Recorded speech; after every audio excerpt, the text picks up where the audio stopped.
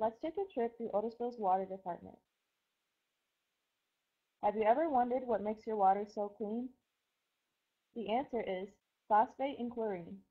Phosphate keeps iron sediments suspended so you can't see the infamous red color, and chlorine oxidizes the iron to clean the water.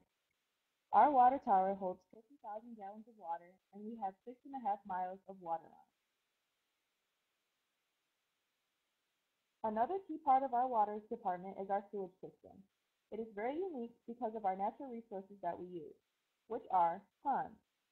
Sewage first enters at the contaminated pond and filters through sand, then is transferred to the clean pond filled with clay. The final stage involves a very unique feature. When the sewage water is finally able to be put back in the ground, it is placed in a field that has large ridges for further filtration. The Otisville Water Department does a great job keeping our water safe and clean.